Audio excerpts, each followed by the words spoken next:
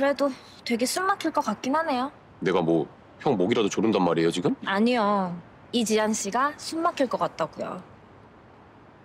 형의 행복을 바란다고 말하는 이지한 씨의 표정이 어딘가 되게 불안하고 초조해 보여서요. 잠깐이지만 그 얼굴을 보는 도안이의 마음이 과연 행복해질 수 있을까? 그런 생각이 잠깐 들었어요.